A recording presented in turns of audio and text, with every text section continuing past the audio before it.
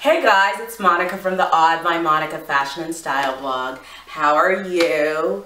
Welcome once again to my little domain, my little office slash filming room slash the room I get to share all my knowledge of fashion and what I love, what I'm interesting, what's in and what's not with you. Anyways, um, today we're going to be talking about a closet essential. I think I'm going to do a lot more closet essentials on the blog now because I get a lot of questions about what should be in my closet. Um, if you follow the blog, you know that I love a good white shirt. I wear them all the time. Um, they pretty much go with everything. So every woman should have a great white shirt in your closet. It could be cropped.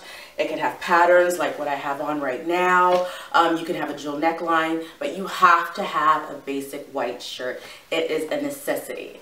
Um, I'm going to share with you some of my looks from the blog, um, whereby I'm wearing white shirts with pretty much everything, what you can name it. I'm wearing it with um, jeans, skirts, pants, whatnot. They really work, they complement your outfit, and it's just a great thing to have in your closet. So first up, I have this fun piece, which is kind of old, but I've had it forever and I refuse to get rid of it. And you've got your jeweled neckline. Easy, goes with everything. I actually featured it again in an upcoming post, so stay tuned for that. And you have your crop top. I got this one from ASOS. Necessity, I will never give this up. My sisters have tried to take it. It is a must-have. It goes with everything, very much on trend with the crop top look. And here is just your basic cotton white shirt, clean, crisp. I think I have about like five white shirts just because I'm constantly wearing them and they just work with everything.